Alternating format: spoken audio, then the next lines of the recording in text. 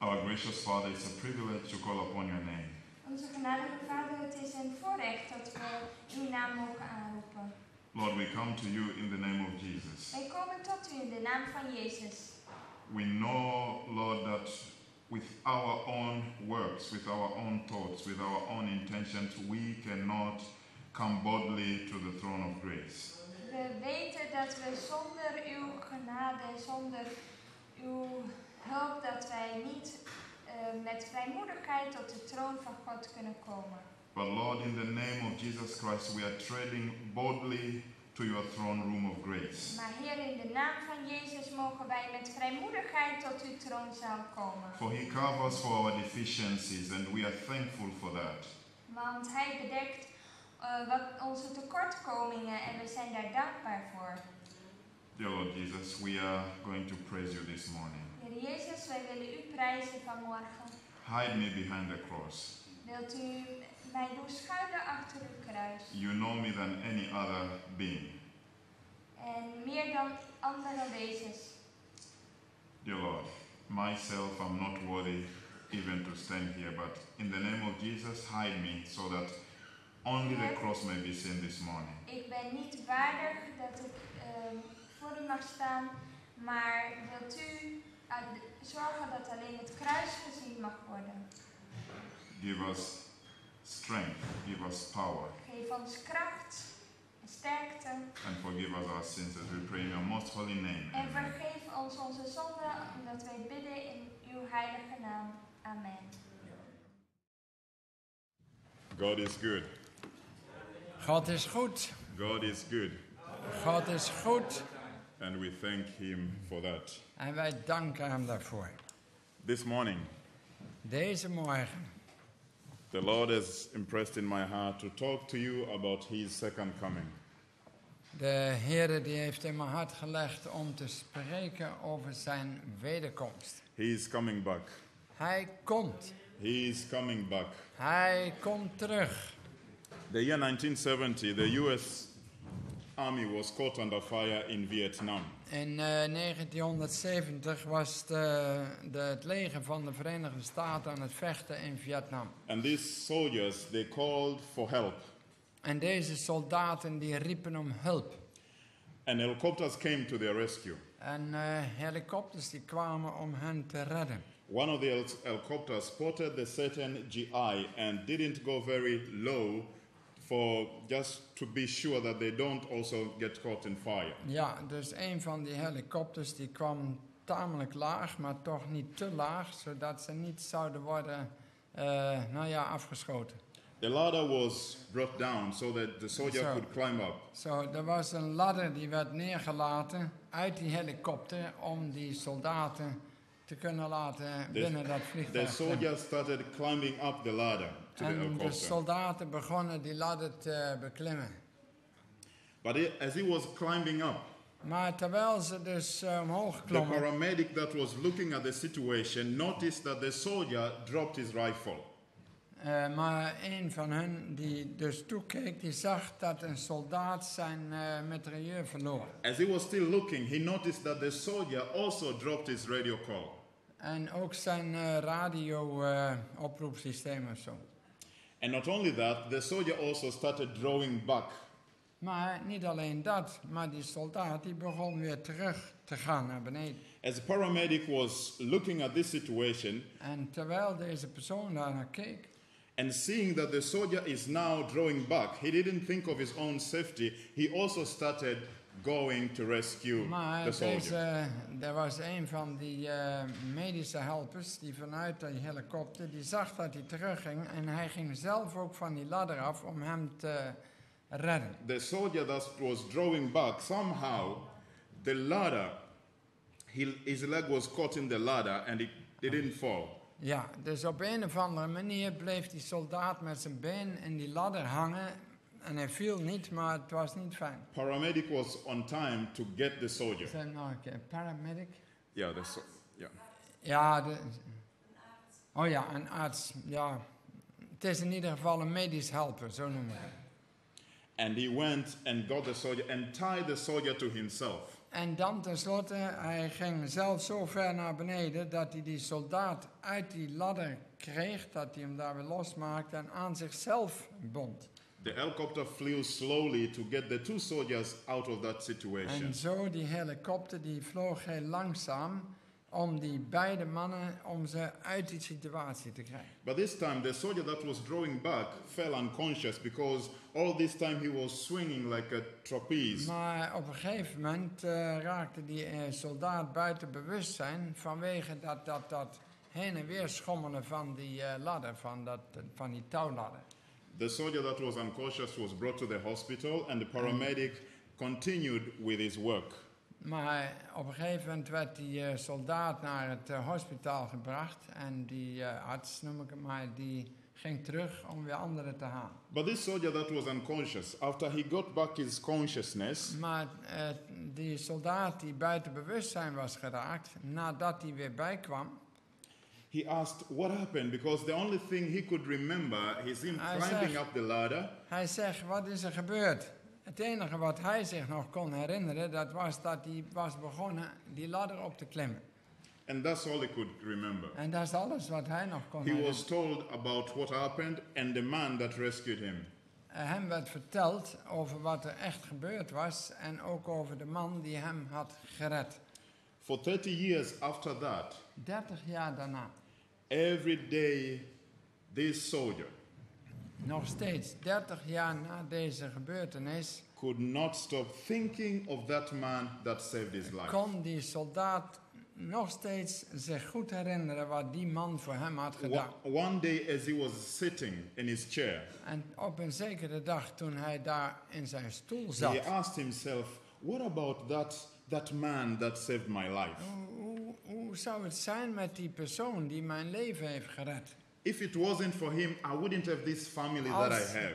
Als, als hij er niet was geweest, dan was ik er niet I meer wouldn't geweest. have these children that I have. Dan zou ik niet een gezin hebben gehad en I dan zou wouldn't ik have geen kinderen all hebben these gehad. things that I have now. But because of Al him, die dingen die ik nu heb, die heb ik eigenlijk aan hem te danken. is he alive today? Maar hoe is het eigenlijk? Is hij zelf What nog in happened to leven? him in that accident? Wat is er met hem eigenlijk gebeurd?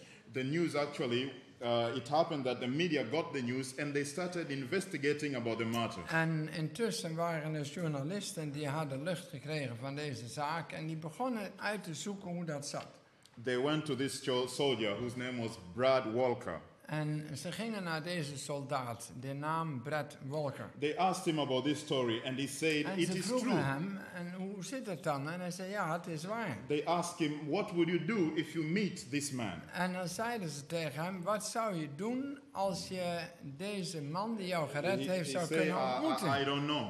Hij zei, ik weet het niet. I don't know. Ik weet het Maybe niet. I will just run to him. Oh, misschien ren ik naar hem toe. Maybe I'll just run to him and hug him En, en geef hem een grote and omhelzing. thank him En dank hem. and thank him. En dank and hem. thank him. En dank hem nog eens een keer. Somehow the meeting was arranged. Maar de, de, deze, tenslotte vonden ze die man en konden ze ze bij elkaar brengen. Brad Even, Walker, even tussen twee haken. Ik zie twee eh zusters uit Duitsland. Oh, you will translate? Eh, is er iemand die een beetje in Duits kan vertalen voor hen? Norbert, kan jij het proberen?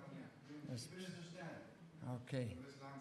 Iemand hier die het kan proberen, want ik zie degene die het zou doen, die zie ik even niet. Dat vind ik jammer. Hmm. Uh, maybe you can try it, James. You try, okay. Ja, oké. Continue. the meeting was arranged and uh, En tenslotte was deze ja, as, eh, they were, as they were interviewing Brad Walker on this situation, En terwijl ze deze Brad Walker interviewden in deze situatie. the host said, Ladies and gentlemen, En toen zei deze, deze, ja, deze inleider, die zegt, eh, dames en heren. I bring forward John Gibson. Ik eh, breng u hier iemand met de naam John Gibson. John Gibson was the one who rescued Brad Walker. Want John Gibson was degene die Brad Walker heeft gered. Caught up on the emotions En natuurlijk, er waren emotionele over the moment. over dat moment. Brad Walker couldn't sit in his chair. En Brad Walker kon niet in zijn stoel blijven zitten. He stood up and went and ran onto hij, John Gibson. stond op en hij rende naar deze John And he Gibson. almost knocked him over. En hij zou er bijna overheen zijn gestruikeld. And he hugged him. En hij, hij omhelsde hem. And he was hugging him. En hij omhelsde hem. He started crying and crying and crying. En huilde en huilde en huilde. And as he was crying, En terwijl hij huilde, the whole audience started crying. heel die vergadering, al die aanwezigen, die begonnen te huilen. The rescuee had met his rescuer. De, de geredde, die ontmoette zijn redder. After that, as they were crying, Terwijl ze huilden, the two men, the Yes. high ranking US officials, marched forward to the stage. deze twee, eh, deze twee soldaten, die twee die elkaar hier ontmoeten, They went with a medal that was never Zij- given to John Gibson zij gingen naar voren en zij, eh, zij kregen een medaille for the act of courageousness that he did. voor deze heldendaad. And the medal was placed on John Gibson. En John Gibson die kreeg deze medaille. The reward that he never received for 30 years, and nobody never ever noticed what he did. 30 jaar nadat het was gebeurd, kreeg hij uiteindelijk een, eh, een eerbetoon voor zijn eh, heldendaad. Then uh, I started thinking about my rescuer. En toen dacht ik na over mijn redder, My Jesus. mijn Jezus, My Jesus. mijn Jezus. How far he has led me. Hoe ver heeft hij mij geleid? How he has saved me. Hoe heeft hij mij From all the dangers that I could see and Van- those that I couldn't see. Van alle gevaren die ik mij bewust ben, maar ook de dingen die ik me niet bewust ben. Oh, how he loves me. Hoeveel houdt hij van mij? Oh, how he loves you. En hoeveel houdt hij van mij? To me, Voor mij, coming of Jesus is personal. De komst van Christus is voor mij heel persoonlijk. It is personal. It heel is personal. persoonlijk. Ja, heel persoonlijk. I I don't know what I will do when I when I meet him. Ik weet niet wat ik ga doen als ik hem mag ontmoeten. But I know the question that I will ask him. Maar ik weet één vraag die ik The wil question that I stellen. will ask him is De vraag die ik hem wil stellen is, how come I'm here? hoe? How come I'm here? Hoe komt het dat ik hier ben? Because I know myself. Want ik ken mijzelf. But the spirit of prophecy tells us that, well, there is an answer to that because God covers for our deficiencies. Dat, maar de geest der profetie die zegt, daar is een antwoord voor. Want God is, God is efficiënt. This soldier of the cross, hm? Oh ja, God die bedekt onze gebreken. this soldier of the cross that never received his reward, Deze eh, soldaat die nooit zijn eh, loon kreeg eigenlijk. and as he was on the cross, Maar als hij aan het kruis was, even after they've already nailed him, they, they, they thought it's not enough. They pierced his side. nadat ze Jezus gekruisigd hadden, But dan still, dachten ze dat is nog he niet genoeg. chose, Ze hebben hem ook nog een, een speer in zijn lichaam still he gestoken. chose to go through that road for you and me. Maar Jezus koos ervoor om door deze ellende heen te gaan voor u en mij. We are told that three times he went to commune with the Father Drie keer sprak hij met de Vader. because he wanted to come to save you and me. Want hij wilde u komen redden, u en mij. We are told that in heaven we will be crowned, we'll be given crowns of victory. En het wordt ons gezegd dat ons worden kronen gegeven. Kronen van de overwinning. But that crown, actually, it's only Jesus that deserves it.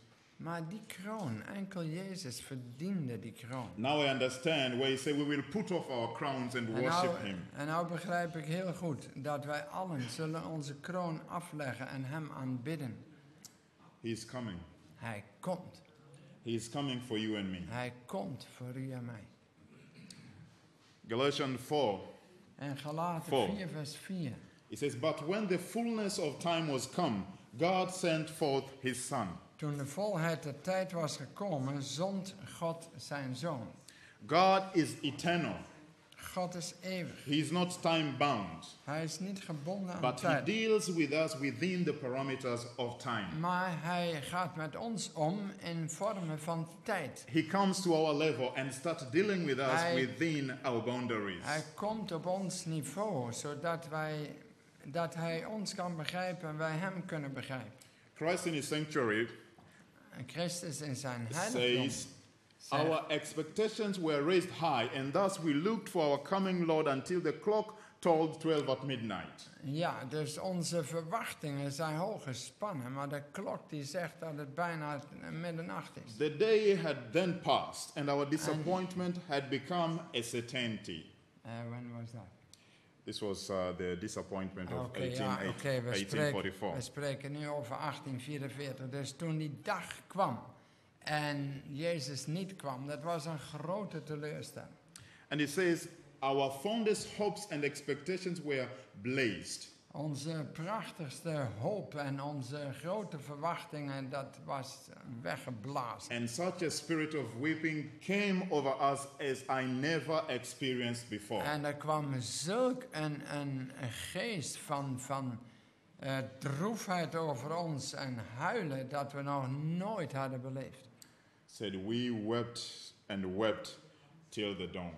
Wij huilden en huilden en huilden tot middernacht. Tot aan de dageraad zelfs. Here are grown men crying overnight, Er zijn mensen hier die huilen over de hele nacht. but they never saw a reason to draw back. Maar toch eh, kwamen ze niet terug. In their disappointment, they said, We made a mistake. God, you are never wrong. You Maar, maar ze zeiden, oh God, wij, wij, wij hebben iets verkeerd gedaan. Maar hoe? After their prayers, Nadat ze veel gebeden hadden, God revealed to them heeft God aan hen geopenbaard. after they confessed their sins, En nadat ze hun zonde hadden beleden, God gave them the prophetic timeline of what was happening. en gaf God hen de profetische tijdlijn van wat er precies gebeurde. Now, coming of Jesus has been the greatest hope of all the ages. De komst van Christus is de grootste hoop van alle eeuwen. All this died in faith, Al deze eh, mensen zijn gestorven in geloof. and all these men looked forward for coming of Jesus. Al deze mannen keken vooruit naar die dag van Jezus. Adam called his name seed because En thinking, Adam sprak over dat zaad. thinking that his first son was the Messiah. En hij dacht dat zijn eerste zoon misschien wel de Messias was. Enoch said, Behold, he cometh. En Henoch, zie, hij komt. Jacob says, He is Shiloh. En Jacob zag hem als de Silo. But Maar all these men, they kept their hopes burning. al deze mensen die hielden die hoop brandend. Now, the question that I want us to start with as we are trying to uncover greatest prophetic timeline on coming of Jesus En als wij proberen die grote tijdlijn van de komst van Jezus, om dat te ontrafelen. The question that I wanted to start with did, did Methuselah know when he would die? De eerste vraag die ik stel, dat is, wist Methuselah wanneer hij zou sterven? I can see people nodding. The answer is Nou, het is duidelijk, het antwoord is yes. ja. The answer is yes. He knew when he was going to die. Hij wist wanneer hij zou sterven. And he said in uh, Patriarch and Prophets, Enoch had repeated to, this, to his children what God has shown him in regard to the flood. Ja, dus Enoch die had eh, steeds opnieuw aan zijn kinderen verteld wat God hem had getoond ten, ten aanzien van de zondvloed. And Methuselah and his son, who lived to hear the preaching of Noah, assisted in building the ark. En Methuselah en zijn zonen, die, eh, die eh, daar woonden of leefden, en deze prediking van Noach hoorden, assisteerden hem in het bouwen van de ark. Methuselah knew exactly when he was going to die, which Want- year he was going to die. Want But Methuselah die wist precies wanneer hij en in welk jaar hij zou komen te it sterven. could be that he didn't know the day and the hour, but he knew Hij when it was going to hij happen. wist niet de dag precies en de maand, maar hij wist wel ongeveer.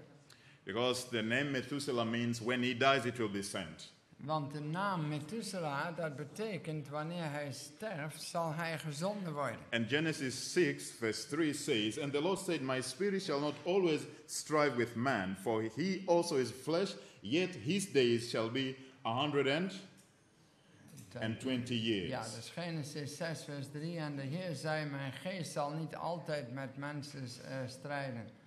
Want hij is ook vlees, maar zijn dagen zullen zijn 120 jaar.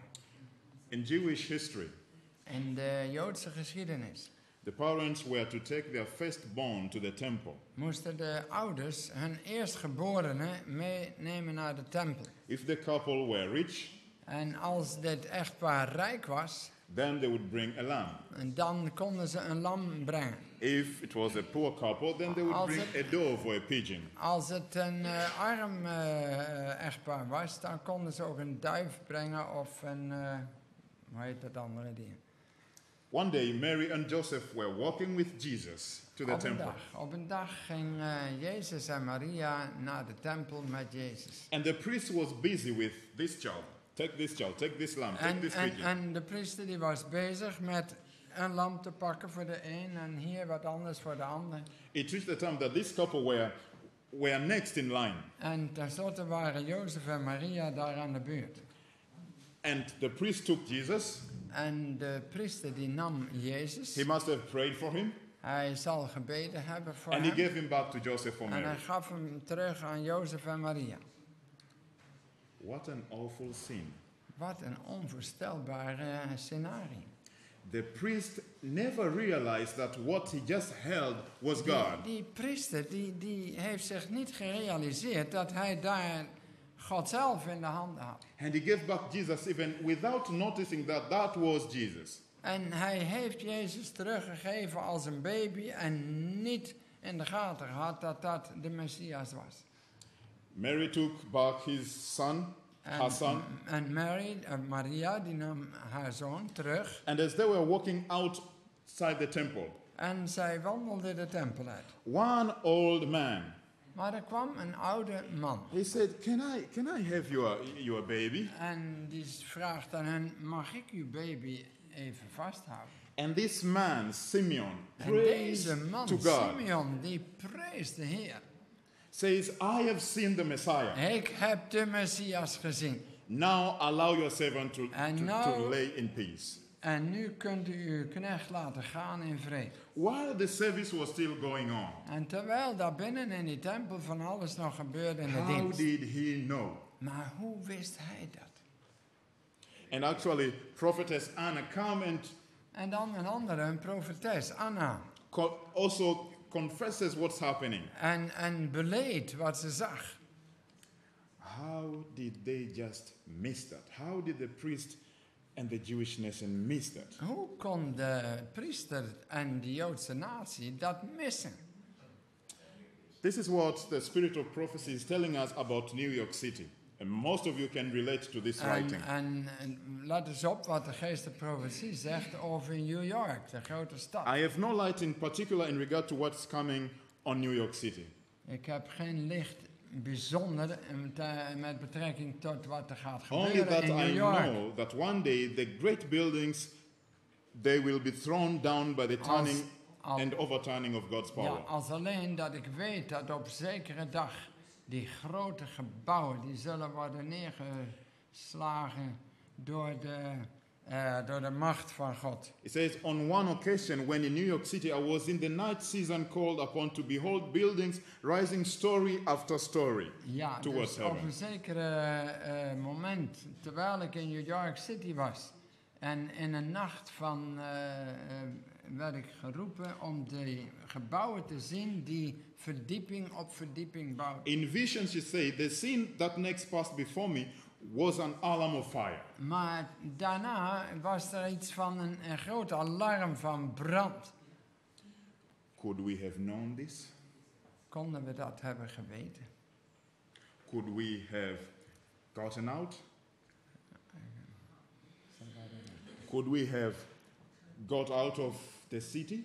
Oh ja. Konden wij hebben geweten welke ellende er over die steden komt om die steden te verlaten? The spirit of prophecy is telling us by a thorough investigation of scriptures, we know where we are in Bible prophecies. Want de geest der profetie die zegt ons dat als wij nauwkeurig de schriften onderzoeken, dan weten wij waar wij zijn ten aanzien van de profetieën en de tijd. And we know for certain that the second coming of Christ is near. En we weten 100% zeker dat de komst van Christus nabij is. Maybe after this presentation, you will have a date of second coming. Misschien dat u na deze presentatie zegt, nou dan moeten we een datum hebben voor zijn komst. But we are warned to set a date. Maar wij worden gewaarschuwd om nooit een datum te zetten. But we are encouraged to know the signs of the times. Maar we worden wel aangemoedigd om de tekenen en de tijd, om die in de gaten te houden. The world history actually is, is set in three epics. En je kunt zeggen dat de aardse geschiedenis dat die in drie episoden op te delen is. The first epic is the epic of patriarchs. That dates eerste- from Adam to Abraham. Dus van Adam tot Abraham. Dat is de eerste episode. The second epic is uh, from Abraham to Jesus. En de tweede is van Abraham tot Jezus. And the third epic is from Jesus to our time, En second de coming. derde is van onze tijd, van Jezus tot en met onze tijd. And Jesus said in Matthew 24:33, He says, Verily I say unto you that this generation Ja, dus in Matthäus 24, vers 34, dan zegt hij, dit geslacht shall not pass zal niet voorbij gaan, till all these things be fulfilled. totdat al deze dingen vervuld zijn. In Jeremiah it says, After seven years, In Jeremia dan zegt het, na deze zeven no, jaar, actually after six years, then the seventh year should be a rest for the land. dan het zevende jaar zal een rust zijn voor het land. The land shall enjoy its Sabbath.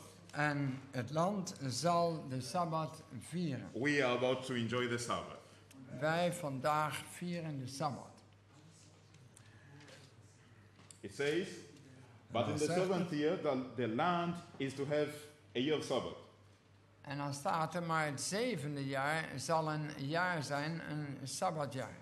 Uh, in Jeremiah 34, 34 uh, 14 talks about the, the rules that they had. In sixth year, you could have somebody, but on the seventh year, he has to be set free. Ja, dus in die zes jaren dan kun je planten bouwen, maar in het zevende jaar is een jaar van de Sabbat.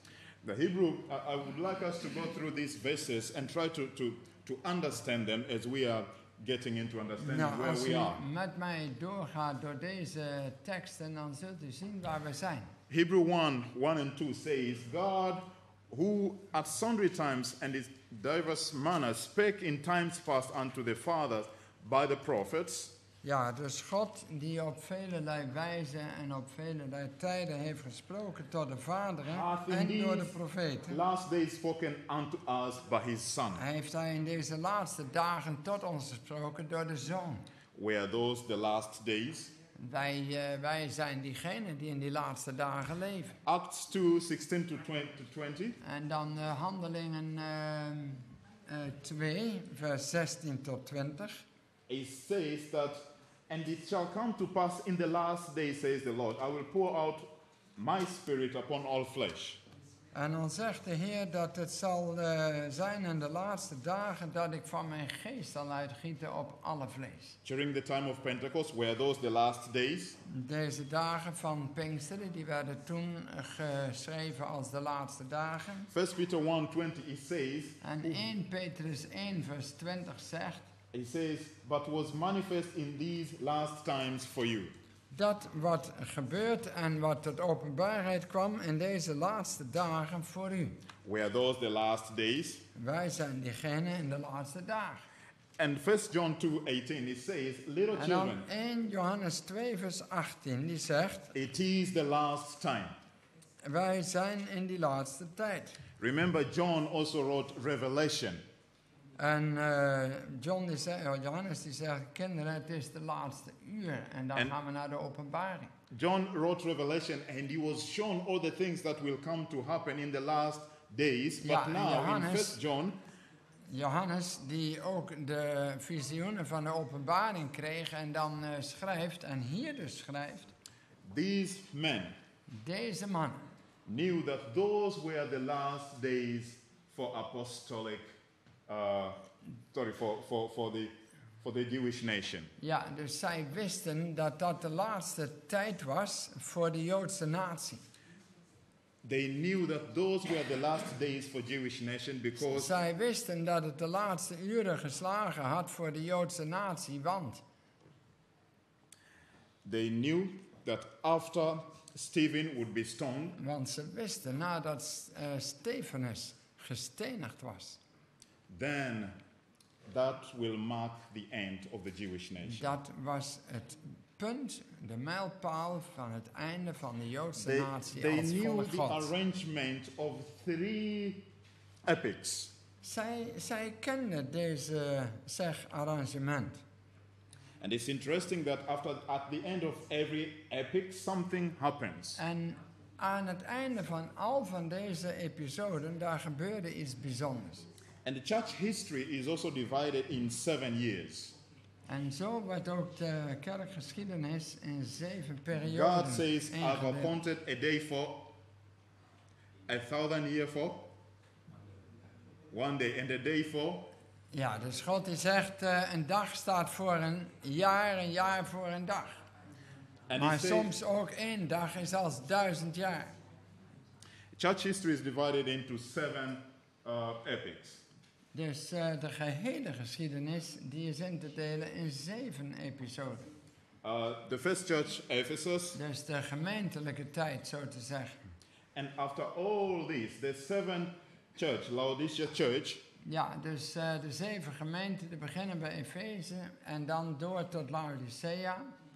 marks the end of seven Dat, years dat, of church history. dat maakt deze zeven perioden compleet.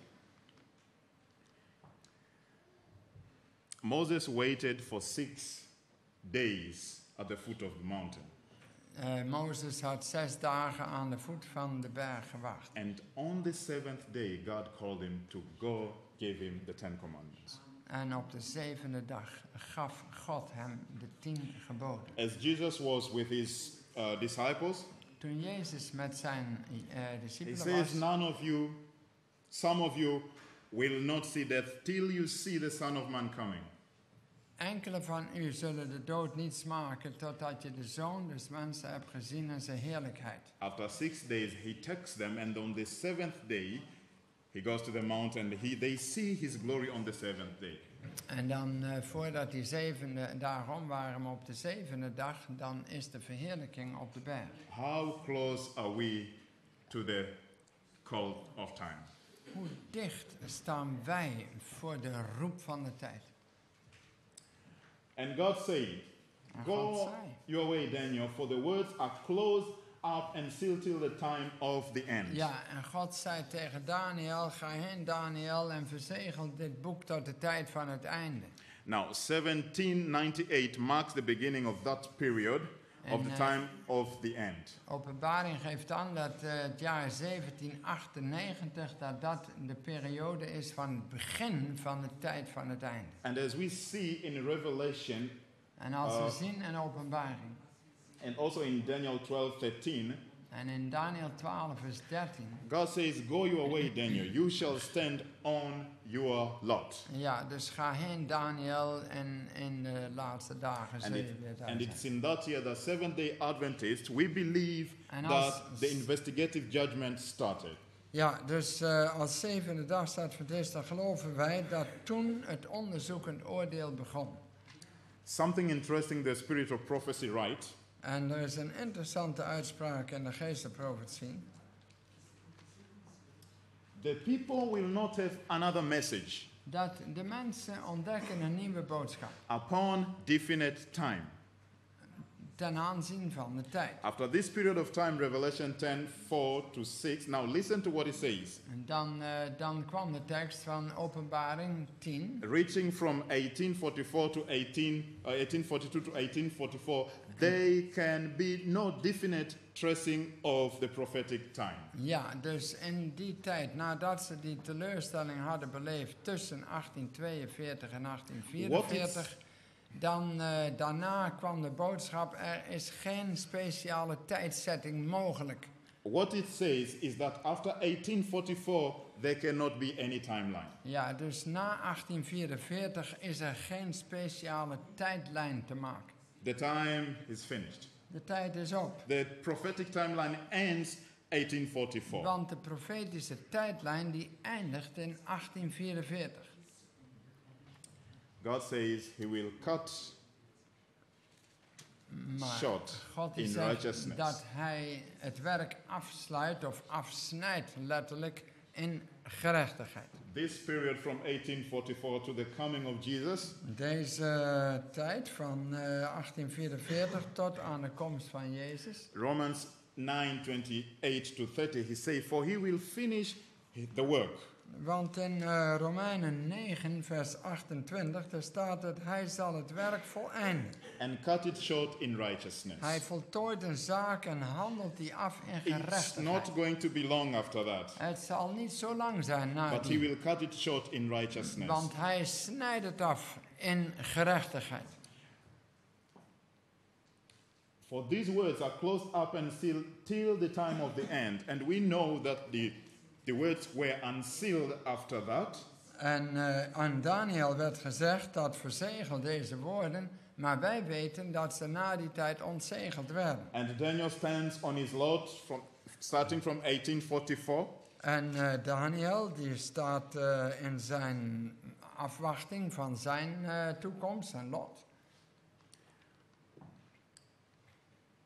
We are on grace period. Wij leven in de genadetijd. He says in Daniel 8 14 to uh, 17, and he said unto Daniel me, eh, 8, vers 14 tot 17, daar zegt het. and 300 unto 300 unto 2300 days, En then shall the tegen mij, sanctuary be cleansed. en hij zei tegen mij, tot 2300 avonden en morgens, dan zal het heiligdom gereinigd worden, zegt de oude vertaling, en rechten hersteld, zegt de nieuwe vertaling. If there's anything I can say this morning, Als er iets is wat ik vanmorgen zou willen zeggen, is that the prophetic timeline ended in 1844. dat de profetische eh, tijdvoorspellingen eindigden in 1844. And God says he will cut his work in righteousness. En God die zegt dat hij zijn werk afsnijdt in gerechtigheid. And if there's anything I can say is that we are living on a grace period. En het enige wat ik kan zeggen is dat we leven in de genadetijd. The spirit of prophecy is telling us to get ready. De geestenprofetie die zegt ons, eh, bereid u voor. Get ready because the time is at hand. Bereid u voor, want de tijd is nabij. The world statistics actually are showing us that there's each and every evidence for the coming of Jesus. Zelfs de, de statieken die in de wereld gemaakt worden, die laten ons zien dat er bewijs is voor de nabije komst van Christus. At times we get used to these things that we, we think they're just normal. Eh, Het is nu zo ver gekomen dat we denken dat al dit soort dingen normaal zijn. In other words, we, I can say we are getting chronic. Met andere woorden, wij zijn eh, chronisch aan het worden. You know, if you get sick more often, you get used Als, to it. eh, als je maar lang genoeg ziek bent, dan ben je op den duur ben je chronisch ziek. If you get disappointed many times, you get used to it. Als jij maar vaak genoeg eh, teleurgesteld bent, dan word je chronisch teleurgesteld. Maybe I can just share with you some uh, a world statistic, maybe just starting Ik, from uh, 2001. Ik wil u eens een, eh, een statistiek laten zien van het jaar 2001. September 11, In eh, 11 september, 3,000 people died daar waren 3000 mensen gedood in die ramp in New York. in New York. Thank you. Ja. In 2003, En dan in 2003, the terrible heat wave hit Europe. er was een eh, vreselijke hittegolf. 72,210 died. Eh 72.000 mensen stierven. December 26, Dan december eh 26 2004. in 2004. Asian tsunami, Dan de tsunami. 9.0 scale, kills two, 2000, no, two, 200, two, this is uh, Ja, 100, eh, 200 200.000. 225,000 people, Ja, dus eh honderdduizenden mensen zijn injuring millions En eigenlijk meer dan and leaving millions homeless. En het, eh, en het bracht eh, 2005. miljoenen mensen dakloos. 2005, Katrina, Dan 2005, Katrina. 1,833 people died. 138.000 mensen dood. And maybe we can say because it's America, the, the rescue and the, uh, the service were well organized. En hoewel het in Amerika plaatsvond en daar een heel goed eh, reddingssysteem is, I can imagine if it were in the poor countries, how it would have been. als dat in een arm land zou zijn, hoe zou het er dan uitzien? 2006, Kashmir, En dan in 2006, Kashmir, 73,338 died. 73.000 mensen. 2008, May, May 12, 2008 op 11 mei. no, May 2 actually, tropical cyclone, Najas, killing one, 138,000. Ja, dus eh, dan, eh, dan sterven er 138.000 mensen. 12 May 2008, Sichuan earthquake, En dan een aardbeving. killing 70,000 people. 70.000 mensen. 2010, Haiti, 2010, Haiti. killing 316,000 people. 316.000 mensen. 2010, 2010. Chile. In Chile. Killing thousands of people. Duizenden mensen. 2011, 2011. Japan, 9.0 earthquake, Een grote aardbeving. killing 148,319 people. 148.000 2012, 2012. Hurricane Sandy. Dan een, een, eh, een orkaan. It says it's not, it was not the biggest, but it was the largest, Het was niet eh, de zwaarste, maar wel de grootste. killing hundreds. Honderden mensen. Now, 2013, 2013. you know what has been happening. U weet wat er allemaal gebeurt.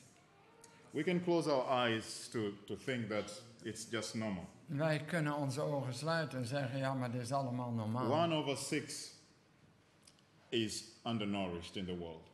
1 op 6 mensen zijn ondervoed in de wereld. 10,000 people die every day. Per, per, oh ja, 10.000 mensen sterven per dag aan de of honger starvation. vanwege gebrek. Revelation talks about economic downtown. En de openbaring die spreekt over een economische neerslag. says, For in one hour such great riches come to nothing. Want in één uur wordt die grote rijkdom verwoest. There are much more reasons for Jesus to come. Er Everything zijn that was said, veel redenen voor Jezus om te komen. everything that Jehovah said in Matthew 24 has been Alles fulfilled. wat in Matthäus 24 is geschreven, is vervuld en bezig zich te vervullen. And our prophetic timeline has run out. En onze profetische tijdlijn is op. We are living on grace period. Wij leven in tijd van genade. He is coming. Hij komt. He is coming because he wants to restore this world. Hij komt omdat hij deze wereld weer nieuw wil maken. He is not only coming to give judgment, but is coming to rescue his children. Hij is niet alleen gekomen of komt niet alleen om te oordelen, maar om zijn kinderen te redden. For this sin dark world. Van deze door zonde zo duistere I can wereld. imagine how he feels when we are reading these statistics. En ik kan me indenken hoe u zich voelt wanneer je deze statistieken leest. One day, Op een dag Mary went to the tomb, ging Maria naar het graf. and as she was sitting there, En terwijl ze daar zat, she realized that there was nothing in the tomb. Toen realiseerde ze zich dat er niets meer in het graf was. The body of his Messiah was gone. Het lichaam van de Messias was weg. And she stayed outside crying, En zij was buiten en weende. weeping that they've stolen the body of his Messiah. Zij huilde omdat ze dacht dat het lichaam van haar Heer gestolen was. Peter and John got the news. En eh, Petrus en Johannes die kregen dat nieuws. They came running Zij kwamen eraan gerend to see what has happened. om te zien wat er is aan de hand is. John was younger, actually, compared to Peter. En Johannes was iets jonger dan Petrus. And he outran Peter. En die rende Petrus voorbij. And he waited outside. En ze wachten daar. And when Peter came, he went directly inside. Maar toen Petrus kwam, die stoof direct naar binnen. And he realized there was nothing but just a napkin. dat was niks anders dan alleen de doeken. Something happened Iets was er gebeurd in that tomb. in dat graf. The Bible tells us that the napkin was folded. En er staat zelfs dat die, eh, die doeken die waren netjes opgevouwen. Why would the Bible write a napkin was folded? En waarom schrijft de Bijbel zo precies dat dit In? Jewish history, In de Joodse in Jewish tradition, in de traditie van de Joden. when the master had had his dinner or supper, Als de meester zijn eh, lunch had of zijn eh avondeten, as he was standing up, als hij opstond, the servant would come and do the table dan kwam de dienaar en die zou dan de tafel schoonmaken en alles and doen. put everything in order. En alles weer in, op zijn plaats zetten. But if the master Maar als de meester, would take the napkin als die de, de servet neemt and fold it himself, en het zelf vouwt of servet that was a sign that the servant shouldn't get close to the table. Say that again. That was Dus sign als de meester zelf, dus de, de heer des huizes zelf, het eh, bij elkaar vouwde, dan was dat een teken van, that the servant shouldn't get close to the table. oh ja, dat ook de dienstknecht zelf aan tafel mocht komen zitten. Shouldn't get close to the table. Oh, precies andersom, neem me niet kwalijk. Dus dat de dienaar bij de tafel weg moest blijven. I'm glad I was listening. Yeah, it's okay. Thank you. But it was a sign that the, this, the, the master Het was een teken dat de meester, was coming back. dat hij terug zou komen. As Jesus folded his napkin, Toen Jezus dus de doeken the first message that he leaves after he rises de eerste boodschap die hij daarmee dus achterlaat, is he's coming back. dat is ik kom terug. He is coming back. Hij komt terug. And there are much, there are much more reasons for his second coming. En er zijn veel meer redenen voor zijn wederkomst. And he's even told us En hij vertelde ons on the first thing that he does when he rises. dat eerste wanneer hij eh, uit de doden opsteeg. I, for one, want him to come. Ik zou graag willen dat hij kwam. But the question that I want to, to leave you with Maar de vraag die ik u wil stellen, Luke 18:8. die staat in Lucas 18, vers 8. Nevertheless, Lucas 18, vers 8, die zegt: Ik zeg u, hij zal hem met spoed recht doen, maar zal de zoon des mensen, als hij komt, nevertheless, when the Son of Man cometh, als hij komt, shall he find faith on the earth? zal hij wel het geloof vinden op de aarde? Nevertheless, Dus niet tegenstaan. when the Son of Man cometh, Als de zoon des mensen komt, shall he find faith on the earth? zal hij dan geloof vinden? He is coming. Hij komt. I had a, I had a story that uh, I was told when I was a little boy. Dit is een verhaal wat mij verteld werd toen ik een eh, kleine jongen was. And uh, I don't know whether it was an illustration or it was a true story. Eh, nou weet ik niet of dat het een illustratie was of een ware geschiedenis. but it stuck in my head. Maar het bleef in mijn hoofd. Of a slave Het ging om een slaaf. that was strong and big, Een, een sterke slaaf, een, een, een krachtige slaaf. and his master loved him so much En zijn meester die hield zoveel van hem. because he was a hard worker. Omdat hij zo'n harde werker was. Years after years after having worked for his master, En terwijl hij jaren en jaren had gewerkt voor zijn meester. he realized that actually I'm just being used here. Uh, hoewel hij wist, ik word hier eigenlijk eh, maar gebruikt. It's better that I'm dead. Het is eigenlijk beter dat ik dood ben. And he went to his master and said, I'm not going to be working anymore. En hij ging naar zijn meester en hij zegt, ik schei ermee uit. His master said, What's the problem? I've been treating you very well. En dan What's the die meester problem? die zegt, wat is nou het probleem? Ik heb je toch goed behandeld? He says, I don't want to work anymore. Hij zegt, ik wil niet meer werken. The master thought it was a joke, but the slave refused to work. Maar eerst dacht die meester, nou het is een, eh, een grap, maar hij weigerde werkelijk om te werken. He tried to beat him, Hij probeerde hem te slaan, to create fear in him, but still om, the, om the hem vrees aan te, aan te maken, maar de slaaf wilde niet meer werken. The master realized, well, this slave is useless. En toen realiseerde zich deze meester dat hij eh, deze slaaf niet langer kon I'm gebruiken. going to sell him. Ik ga hem verkopen. He took him to the slave trade En hij nam hem naar deze eh, slavenhandel and he started selling the slave, en hij begon om deze slaaf te verkopen. giving the price.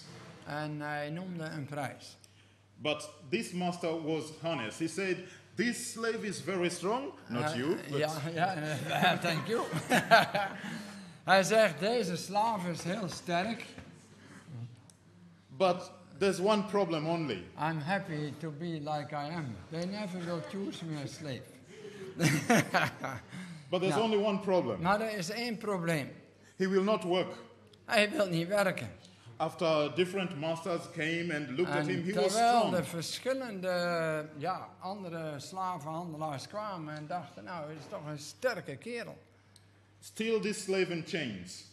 Maar die slaaf die was wel in boeien. He says, He's good, I'll give you for a good price. But the problem is, zegt- he will not work. Ja, en dan zegt hij, ja oké, eh, hij- je kan er wat voor betalen, maar hij, hij wil niet werken.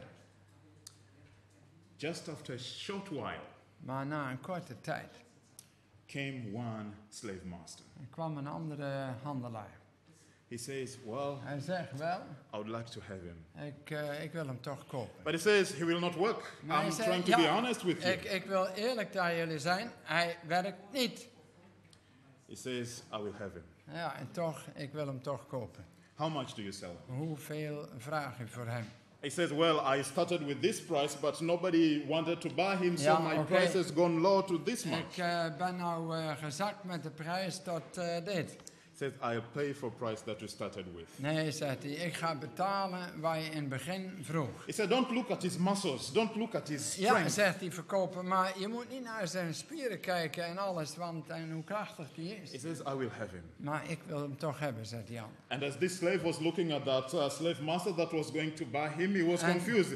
He was looking at, Well, I will not work. En toen die slaaf eh, keek naar die nieuwe persoon die hem wilde kopen, toen Don't dacht think hij, that kwam you will- verwarring. Want Don't think that you will buy me for your sweet Ja, words and zei, convince me. I will ik- not work. ik ga niet voor je werken, dus je kunt me kopen, maar dit wordt niks. This master didn't say anything. Maar deze meester zei niets. He took the slave in chains, Hij nam deze slaaf mee, hoewel die in boeien was.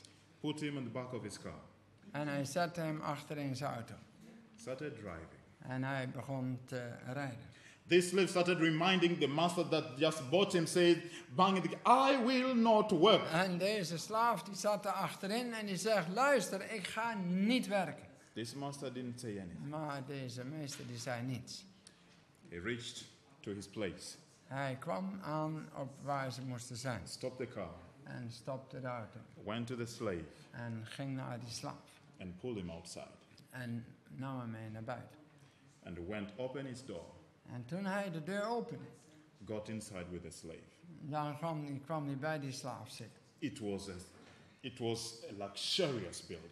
Het was, eh, oh nee, hij he took him inside his building. Yes. Ja, oké. Nee, dus hij ging niet bij hem. Hij neemt hem mee naar binnen in zijn huis. Het was Luxurious een building. prachtig huis. Het was heel With luxueus. luxurious things Met allerlei luxueuze dingen erin.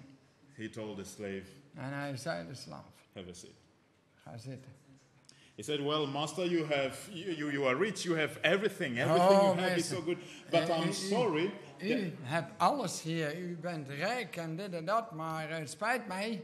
The amount you paid was nothing. Want dat wat u betaald hebt, dat was niks. Because I'm not going to do even your dishes. Want ik ga uw afwas niet eens doen. This master didn't say anything. Maar deze meester zei niks. He took a cup of water Hij nam een glas water and sat down en zat daar. and gave a glass of water also to the slave. He said, We have had a long journey. En hij gaf ook een glas water aan de slaaf. En hij zegt, we hebben een lange reis gehad. And he stood up En toen stond hij op. and he said, We have had a long journey. Wij eh, hebben een lange reis gehad. I have something for you. Ik heb iets voor jou. Take this. Neem dat. Take this. Neem dit. This is for you. Dit is voor jou. And as this slave was stretching his arm, En terwijl deze slaaf zijn hand he uitstak. realized that the master was giving him the keys. En dat realiseerde zich dat die meester hem de sleutels gaf. And the slave asked, What this for? En die slaaf die zegt, waar zijn deze What is sleutels this for? van? Waar, waar, wat, wat, wat is de bedoeling?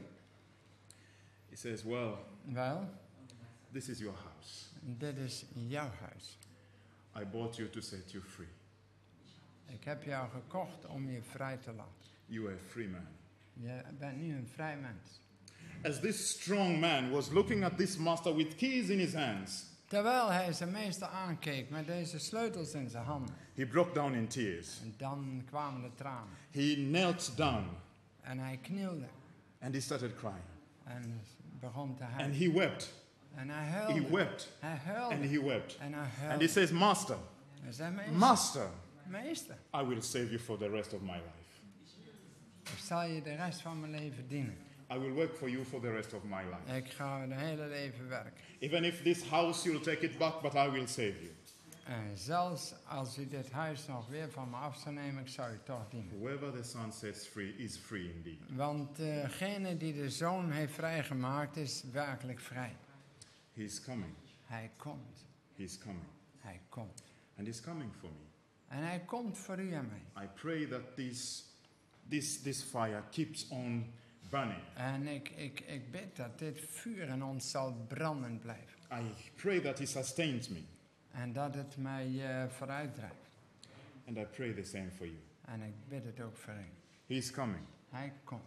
Get ready. Wees bereid. God bless you. Mogen God u zegenen. Amen. Our gracious Father, Onze genadige Vader. it's a privilege, Lord Jesus, to know that you are fighting for our salvation. Het is een voorrecht, Heer Jezus, om te weten dat u vecht voor onze verlossing. Help us to know that. Help ons om dat te weten. Open our eyes that we may see that. Open onze ogen dat we dat mogen zien. We commit our lives in your name this morning. Wij leggen onze levens in uw handen deze morgen.